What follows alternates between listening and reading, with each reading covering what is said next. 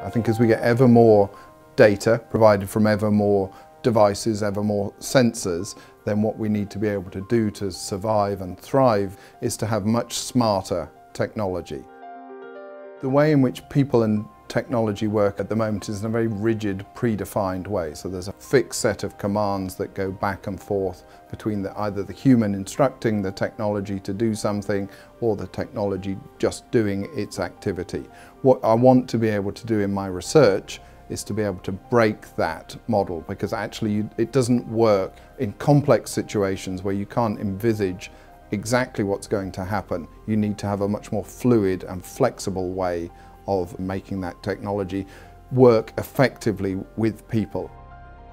Underpinning this work is fundamental new advances in both making individual components smarter, so new techniques for machine learning, new techniques for decision making under uncertainty, and also how you can get a number of these smart components to interact with one another as a team in an effective way. Those are new scientific challenges that we're working on that have led to major new advances in the way that these systems can be constructed and developed.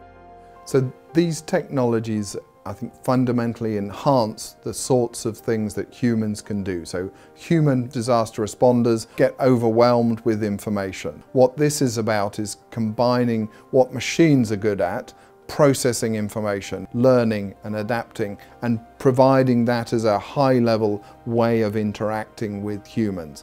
Humans are not just being presented with raw data, they're being presented with sensible opinions and sensible options because the machinery knows how to collaborate, knows when to make suggestions and then makes them at the right time. In response to the Nepal earthquake, uh, our partners at Rescue Global took some of our technology and used it to determine where to place water filters around the Kathmandu area. So we crowdsourced information and analysis from satellite images. We identified four new areas that they weren't aware of that they subsequently sent water filters to. And that's a real example of technology being used to save lives. So, so there were critical mass of people in those four areas that would not have received water but for their smart decision making in our algorithms.